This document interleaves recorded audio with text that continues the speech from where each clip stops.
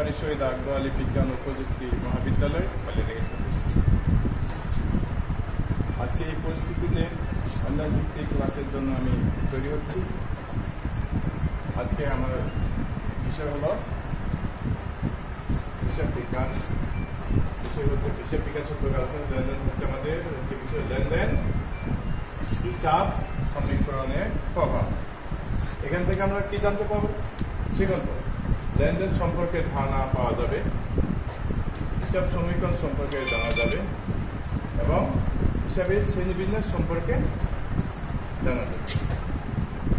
প্রথমে আমরা জানি লেনদেন। লেনদেন কি? সাধারণত আমরা জানি কোনো কিছু দেওয়া নেওয়াটাকে বলা হয় লেনদেন। সেটাকে আর্থিক হোক বা অনার্থিক হোক। কিন্তু হিসাব বিজ্ঞানী সব দেওয়া নেওয়াটাকে লেনদেন বলে না। লেনদেন বলা হয় সে সমস্ত ঘটনাকে যে ঘটনার মাধ্যমে কোনো ব্যক্তি বা প্রতিষ্ঠানে আর্থিক অবস্থার প্রভাব বিস্তারিত। অর্থাৎ যে লেনদেন, যে ঘটনার সাথে আমাদের অর্থের সম্পর্ক থাকবে, সেটা কি বলব আমরা লেনদেন।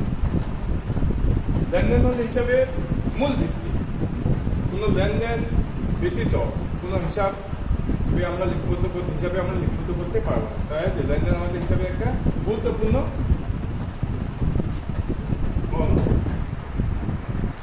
লেনদেনের এখন আমরা লেনদেন সম্পর্কে আমাদের কিছু আমরা বৈশিষ্ট্য জানি তাহলে তা আবার বলতেছি, যে ঘটনার মাধ্যমে কোনো ব্যক্তি বা প্রতিষ্ঠানে আর্থিক অবস্থার পরিবর্তন ঘটছে, সেটাকে বলব আমরা লেনদেন।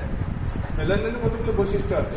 মূল বৈশিষ্ট্যগুলো হলো অর্থের অঙ্কে পরিমাপযোগ্য। কোনো ঘটনা যে লেনদেন হয়, অবশ্যই অর্থের অঙ্কে পরিমাপযোগ্য হতে হবে।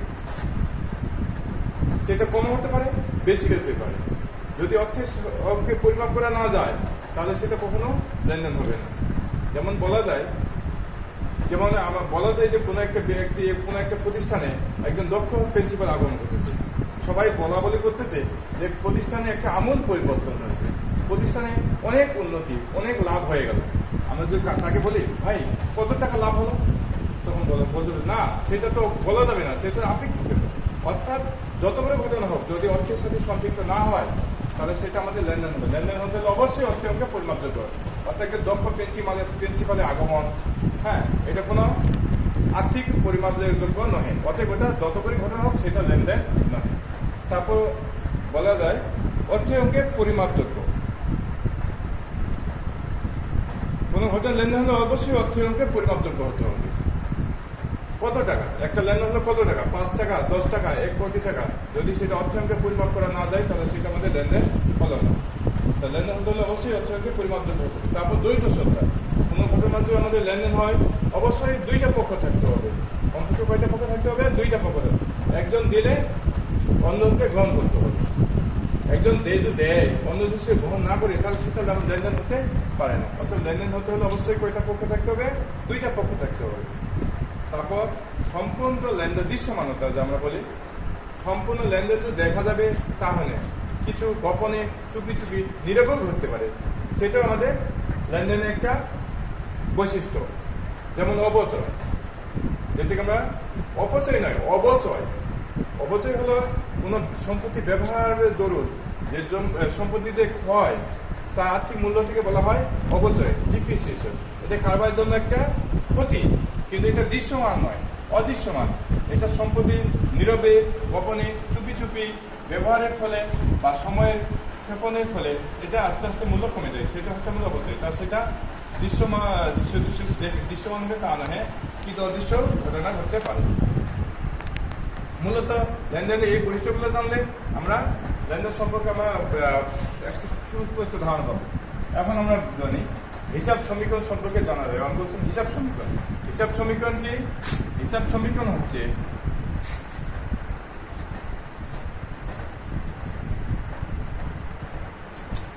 সম্পদ দায় প্লাস কি? মালিকানা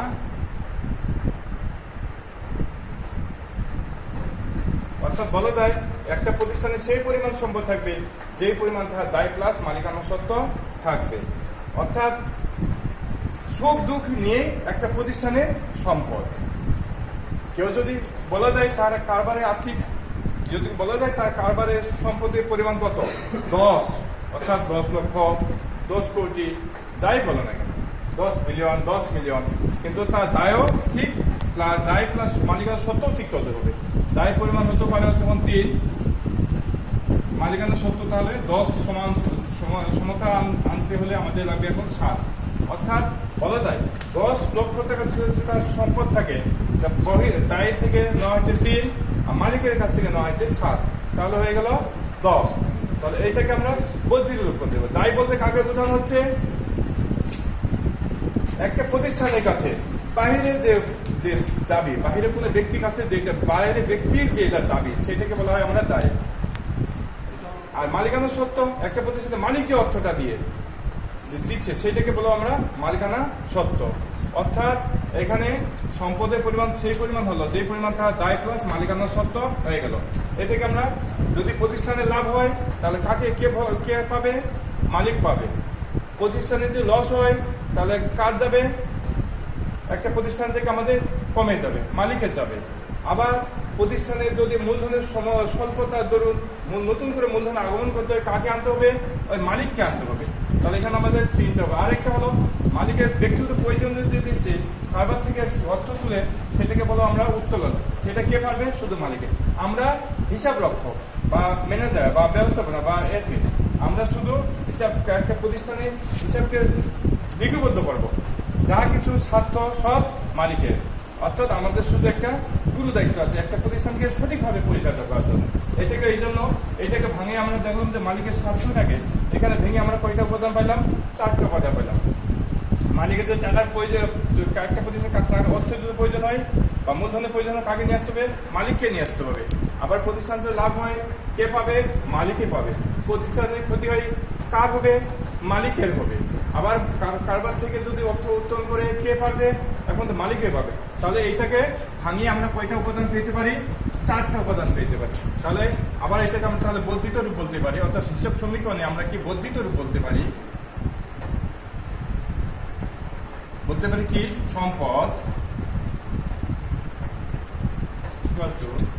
দায় প্লাস মূলধন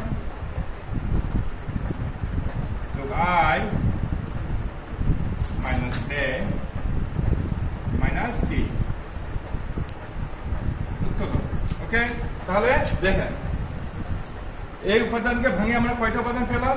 চারটা উপাদান পেলাম। অর্থাৎ এখান থেকে তাহলে কি হয়ে গেল? সম্পদ সমান সমান দায়। দায় মালিকানা সূত্রে ভাঙে পেলাম মূলধন। অর্থাৎ কারবার যদি অতিরিক্ত মূলধন পর্যন্ত কাকে নিয়ে আসে? মালিকের যে মালিকের যে স্বার্থ, সেটা মূলধন। প্লাস যদি প্রতিষ্ঠানের লাভ হয়, কে পাবে? মালিকই পাবে। আয় প্লাস কারবার থেকে যদি লস বা ব্যয় হয় কাজ যাবে? ওই মালিকেরই যাবে ব্যয়। প্লাস কারবার থেকে যদি সেই ব্যক্তিগত প্রয়োজন উত্তোলন করে কাজ যাবে? মালিকের যাবে।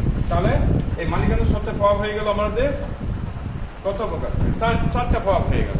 তাহলে মজার ব্যাপার, তোমাদের এখানে আলোচনা এই যে সিগন ফুলে একটা দেখাতে চাইছিলাম, যে হিসাবে শ্রেণি বিন্যাস কি দেখাতে চাইছিলাম?